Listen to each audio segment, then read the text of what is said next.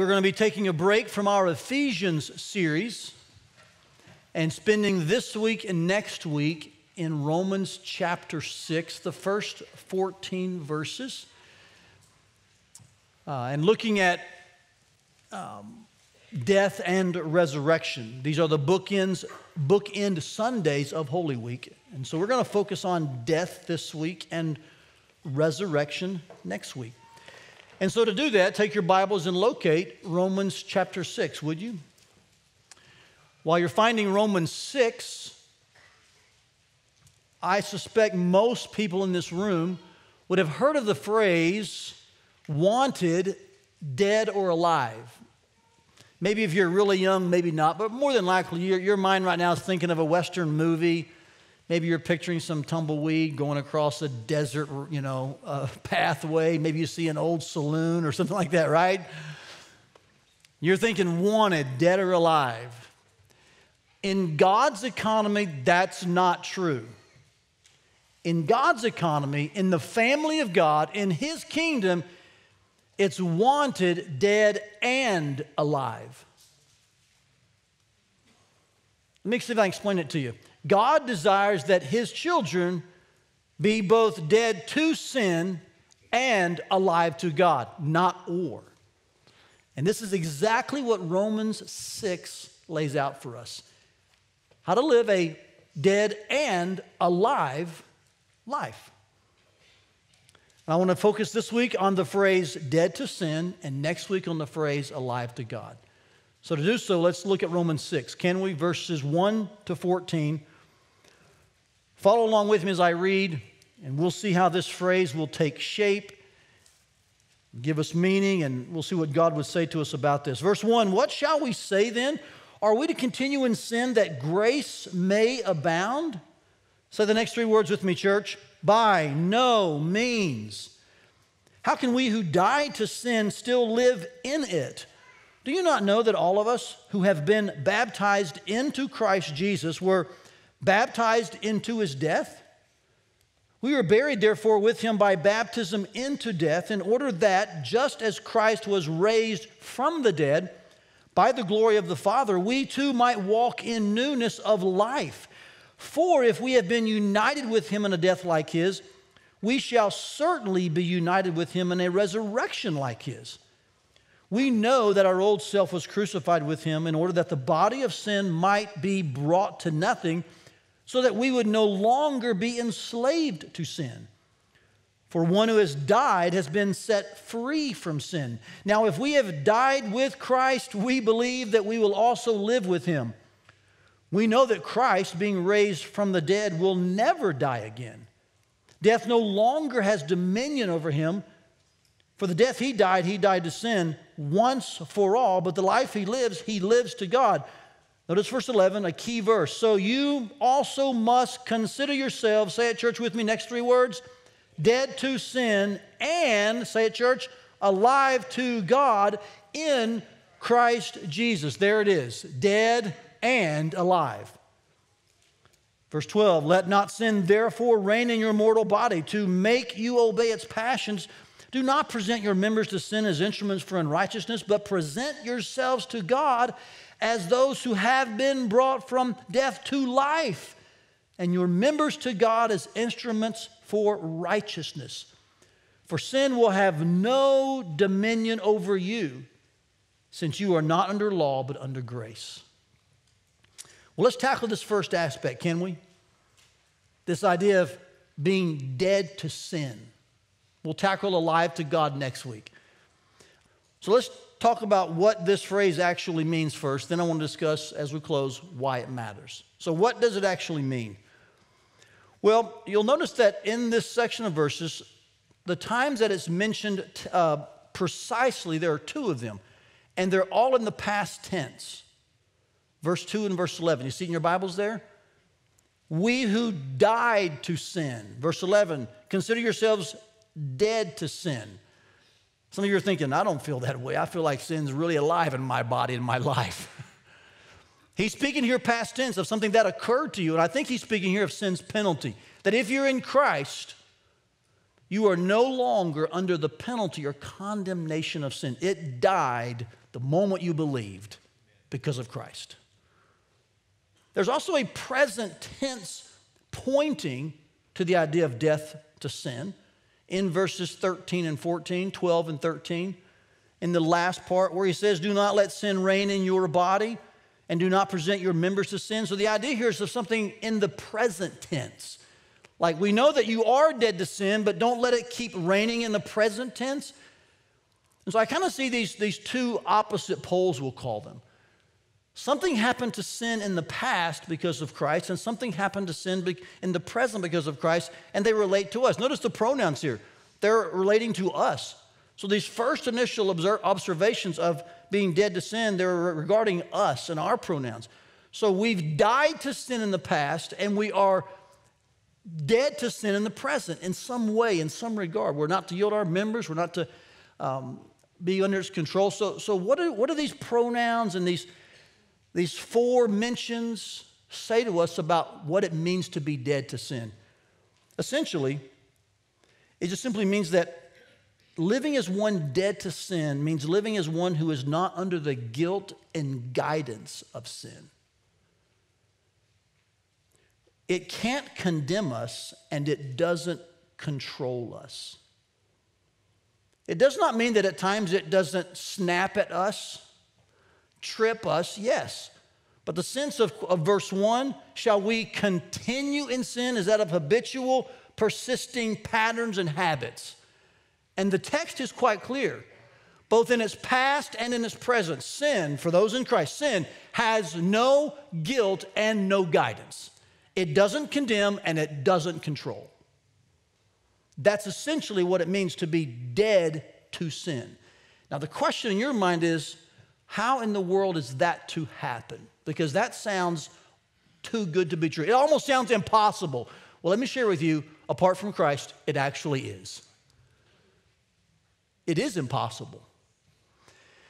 And that's why I love the middle part of this section of this section of scripture because while we see pronouns that refer to us at the beginning and the end, both past and present, what is absorbed in the middle, what takes the main focus of the section, is all the pronouns and the phrases that refer to Christ's death to sin.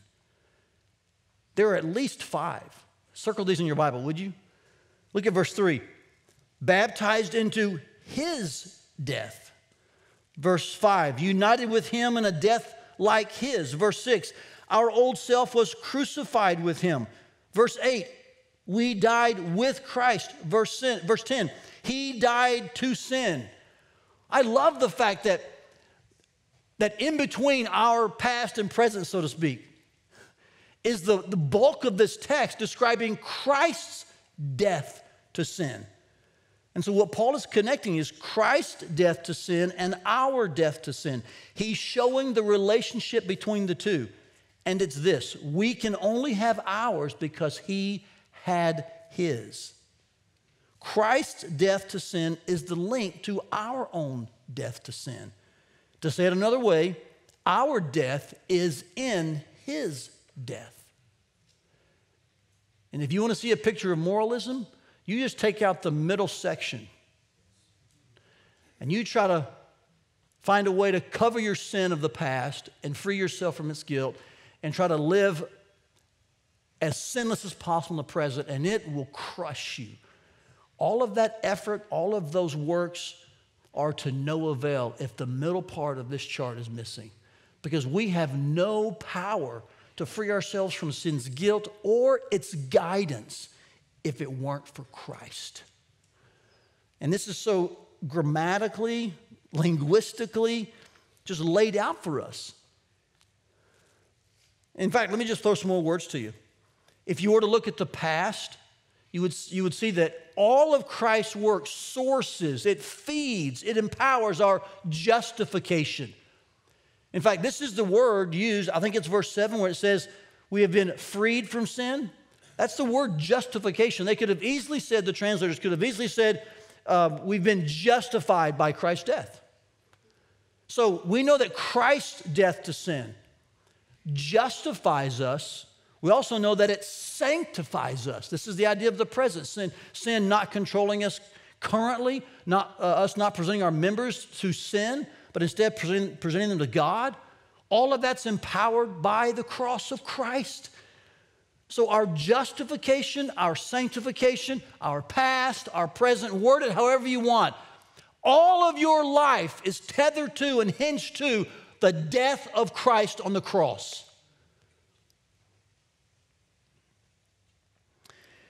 Now, more specifically as to how this is experienced, I want you to circle three verbs in your Bible, would you? It's the word know. It's quite interesting, it's used three times. There are also in this section four questions. I think most of them are rhetorical. And so, in combination with the three uses of the word know, Paul, I think, is saying, guys, get this in your head. Lock this down in your memory. Know this, stand on this. Let this be a concrete theological, spiritual reality and fact. In fact, I would even say that he, go, he goes beyond the word know, and he, he uses a number of verbs here, I think, to escalate the issue. Let me walk you through these real briefly. He uses the word know three times, saying this is where it begins. Knowing, concretely recognizing that our release from sin's condemnation and release from its control is inextricably linked to Christ's own death to sin. Know this. But he then begins to use, he uses the word believe as well. He uses the word consider in verse 11, which, by the way, is an interesting word. It's kind of a uh, a deductive financial mathematical word. It means to reason, it means just to come to a logical conclusion. It means to calculate and see the truth. Now, in the South, where I grew up, we used reckon all the time. I don't know if I've heard reckon in Iowa that much, but we reckon was like normal vocabulary. Like, I reckon I'm going to go to the store. Is it time for work? I reckon. In other words, we would logically conclude, oh, if this is true and this is true, then I reckon I should do this or go here or do that. Paul here is saying, reckon is one of the words used in the translation, by the way. Here it's used consider, but he's saying logically come to this conclusion when you see all that Christ's death means. Don't run from the natural observation. So know something, believe it, reckon it, consider it, and then he says, present. So here's the final verb used, verses 12, 13, and 14. You're to give, you're to offer. So do you see the escalation of verbs that all start with the word know? So I'm not at all saying there aren't several strategies to fighting sin. Yes, there are.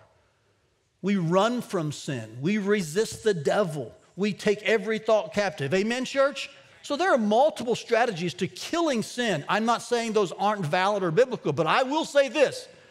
It all starts with knowing that every bit of your strategy, every bit of your, of your spiritual power is, is linked to and tied to and connected to Christ's own death to sin. And you will have no victory over it.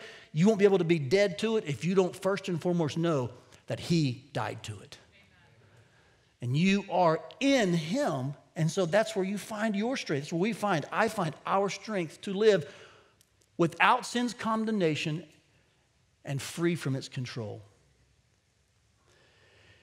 Now, a further word here about this concept of being united with Christ in his death, and that being what sources and feeds and empowers both our justification and sanctification, our past and present. One more thought about this it concerns the word baptism. I personally don't believe Paul is thinking of the ordinance of water baptism here. In fact, I'll just confess to you for probably 30 years as a preacher, youth pastor, I've been in ministry since I was 19, I'm 56 now. So, all those years, I've always seen this verse as a water baptism verse, but I've always in the back of my mind felt like it doesn't seem to fit. And I was always afraid to voice it because I thought, well, I'm missing something probably. And this week, I finally just, after just good reading and some studying, I just finally said, so what is this word baptism pointing to if it's not pointing to the ordinance of water baptism? I think it's pointing to the spiritual union that takes place at the moment of conversion when we are placed into Christ's own death by the Holy Spirit. And to show the incredible intensity of that union, Paul uses the word baptize, which means to immerse, to dip. So he's saying, understand, church, your justification and sanctification, your, your past and your present, the ability, the desire to live dead to sin is possible because you have been immersed, baptized, dipped, placed into Christ's own death spiritually. Now, that does not mean that I don't think water baptism is an immersive act a beautiful moment and a sacred ordinance. I do. I believe the scripture teaches that baptism is after conversion by immersion. I'm just simply saying that this usage in this text, I don't think Paul is thinking about the, the 3,000 at Pentecost. Now, by the way, we can disagree on this. I found, oh, thank you, Keith. He just said, that's right. he may be right, okay? I humbly acknowledge that I could be wrong on this. Uh, I read multiple people this week, both from the scholarly field as well as just from the practical devotional field. And there's good men and women on both sides of this. I tend to think, though, personally, no offense, Keith, he's here using the word to describe the, uh, the, the intense nature of our union with Christ. And so, in some sense, we're kind of back to some thoughts in Ephesians, aren't we? That we are in Christ. And it's a word, this word baptism, I think is used to make sure we understand something that when we come to Christ and believe, we put our faith in what Christ did for us on the cross, it's a departure from the old life that should be seen like a death. In other words, we're not just leaving sin for a time, we're done with sin for good. Watch the phrasing. We are dead to sin. You see, it's a final funeral, not a temporary goodbye. Now, again, this is not saying that I don't think that water baptism is scriptural. It is. And I think the scriptural pattern, again, like I said, is immersion after conversion. In fact, we're doing this next week. Our Easter services, multiple people, multiple people getting baptized. And what are they showing? They're showing their death to sin, and they're showing, and, and even in their, in their physical posture, that they're uniting with Christ in his death to sin. So there is an identification to this concept in baptism. I just don't think that's what Paul was meaning here. I'd remind you that baptism is, is somewhat like a, like a public funeral. Do you know that? Of your old life. You're saying because Christ died to sin, I'm uniting with him. So every time you revert back to old patterns of sin, notice the phrasing here. Every time you embrace old habits, when you insist on persisting in continuing sin, you're digging up an old body. You're pulling up a corpse. Because the Bible says we have died to sin. Let me pause here and ask you a question. Have you held your public funeral for your old life? Have you been baptized? Now, in this text, I think he's speaking of conversion. So let me just ask you have you trusted Christ and believe that only his death can justify you and sanctify you? But let's say he does have in mind here water baptism, the ordinance. Have you been baptized? So I'm asking you this question again this week. Have you trusted Christ in salvation and have you obeyed him in baptism? Well, it's not too late to plan the public funeral for your old life. We're doing it next week. And if you want to get baptized next week and show others that you have trusted Christ, man, you can see our folks at Connect Center. You can see us after the service here. Elders and prayer team will be here. You can jot me a note, send a text. You can email us multiple communication avenues. We'll take some time to sit down this week, Make sure that, that you have a, a testimony that is in line with the gospel. And man, we'd love to baptize you next week. We'll even baptize you at 645 if that's the service you're coming to. Here's what I'm saying. This is what it means to be dead to sin. To personally and publicly acknowledge that I am free from sin's condemnation and I am free from sin's control. It does not guilt me and it cannot guide me because I have died to sin just as Christ died to sin. And how? Because I have died to sin in Christ. So, why does this matter? We've seen really what it means textually. Why does this matter? Because this shows us where our old life ended and where our new life begins. In three words, at the cross. This is where true life begins and old life ends. The moment we die to sin. And we don't die to sin until we're united, baptized, immersed into Christ's own death to sin. When that occurs, the old is gone, the new has come. 2 Corinthians 5 17. So, this is why this matters. So, precious flock, let this text flood you like a tidal wave. When you believed, you were united in his physical crucifixion through a spiritual baptism.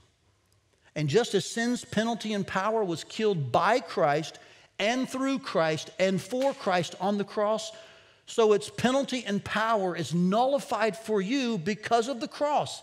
This is tremendously great news. Sin is no longer your master. Now, admittedly, our experience says something different, doesn't it?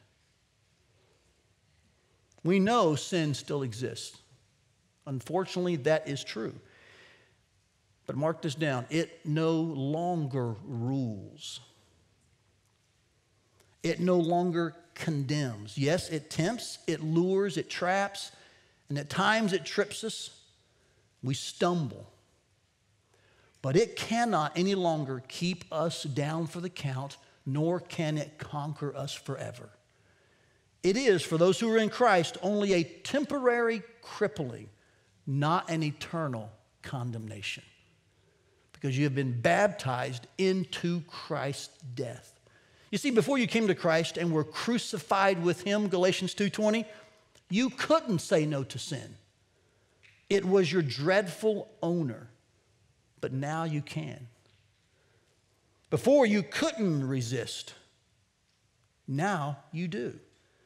Before you couldn't stop the wall of judgment crashing down on you, the hell of torment that was rushing towards you. You had no defense at all.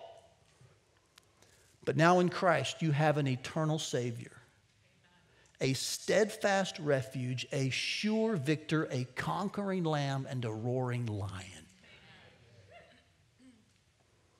You have a Jesus, and because of Christ, you can say no to Satan, both his condemnation and his control. You will not suffer its sting called death. You will not know its coffin of doom. Christ has taken the sting. He suffered the hell, endured the cross, and he's conquered the tomb. And if you're in Christ, then you have as well. You entered into his death spiritually, and now through that identification, you are dead to sin. Say it, church, with me dead to sin, both its penalty and its power. This is why it matters. Because it's the dividing line of our life. That's what the cross does. It separates us before Christ and after Christ. In a sentence, we'd say it like this In union with his death, then I can live as dead to sin now. And do you see the tethering to the cross? Do you see how both ends of our life past and present, are connected to everything Christ did. And if we lose that, we lose justification and sanctification. We have to have a, have a, a, a constant link to Christ's work for us. So, church, will you say this with me? in union with his death to sin then, I can live as dead to sin now. This is what the cross provides for God's people, and really for anyone who believes freedom from being dead in sins. Remember Ephesians 2? That was your life before Christ. You were dead in sins.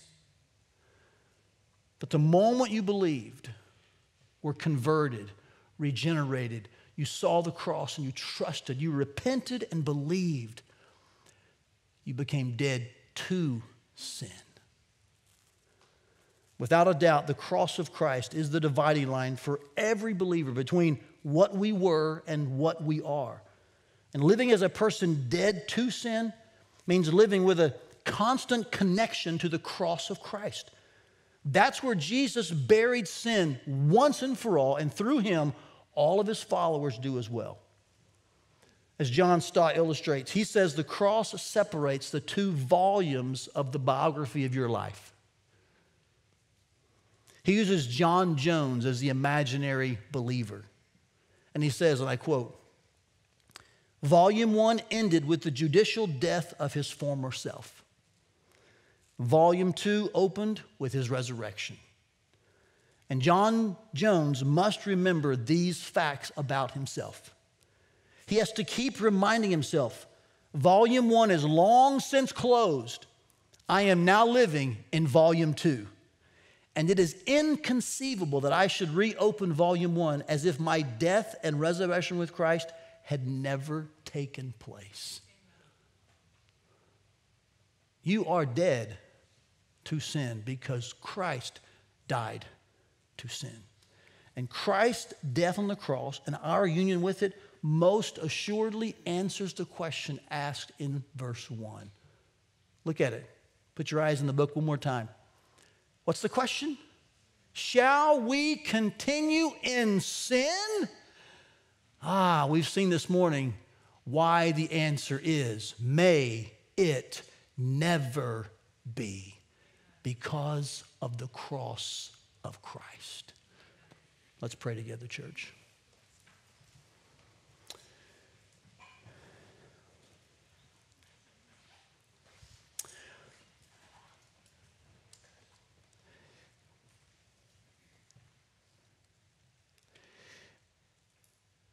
Four words are ringing in my ears right now Hallelujah for the cross. How about yours?